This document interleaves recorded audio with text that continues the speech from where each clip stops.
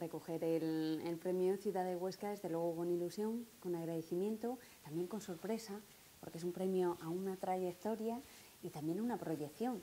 Y bueno, trayectoria sí, soy consciente, son 22 años y proyección vamos a ver, pero se agradece mucho el voto de confianza del festival y tengo ganas esta noche de recogerlo y de, de agradecerlo.